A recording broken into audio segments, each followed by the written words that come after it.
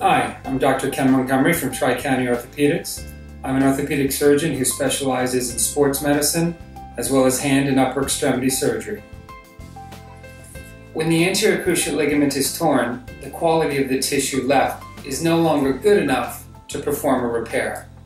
As a result, we need to take good quality tissue from somewhere else to reconstruct the anterior cruciate ligament and create a new graft. This is tissue that we can either obtain from the patient themselves or from somebody else.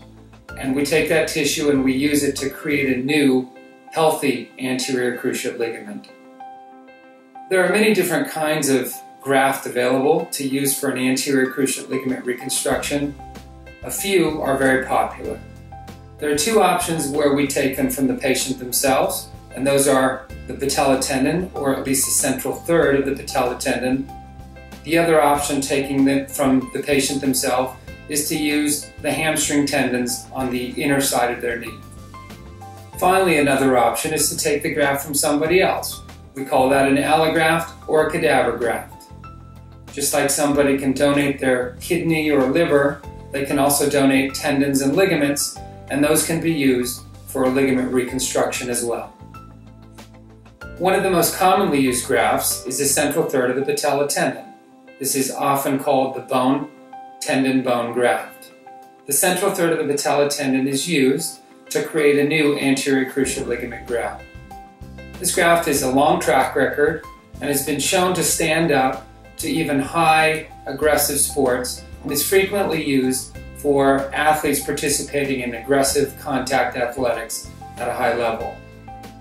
The advantages of the long track record that this graft has and the fact that we know over the years that patients tend to do well. The disadvantage of this graft is it's a little bit more invasive because the graft harvest involves cutting into the bone. There tends to be a little bit more bleeding, a little bit more soreness after the operation, and also patients can have pain in the front of their knee after they've had this graft taken.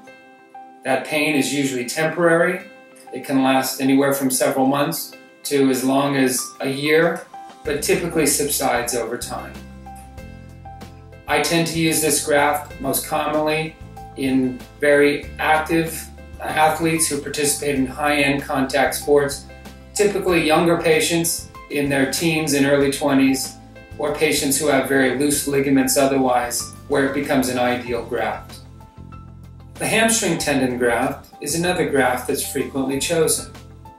This is a graft where we take the medial hamstrings from the knee and use them to reconstruct the anterior cruciate ligament. It's a less invasive procedure than the patella tendon graft, and therefore there tends to be less bleeding, pain, and discomfort for the first several days and even the first month after the procedure.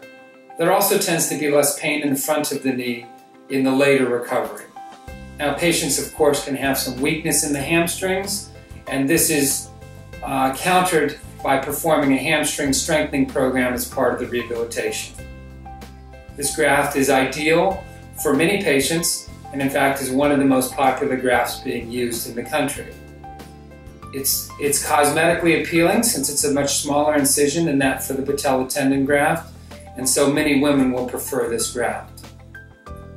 Because of patients having hyperlaxity or very loose knees and joints from time to time, in those patients, it may not be an ideal graft, so in those patients, I may choose a different graft option. Another graft option is called the allograft or cadaver graft. This essentially is taking the graft from somebody else. So rather than taking the graft from your own knee and therefore having the pain and discomfort that comes from either harvesting your own hamstrings or your patella tendon, a person who's died can essentially donate their ligaments or tendons and these grafts can be used quite easily to do a ligament reconstruction. The advantage is that the patient obviously is going to have less pain or discomfort in the first several weeks after the operation.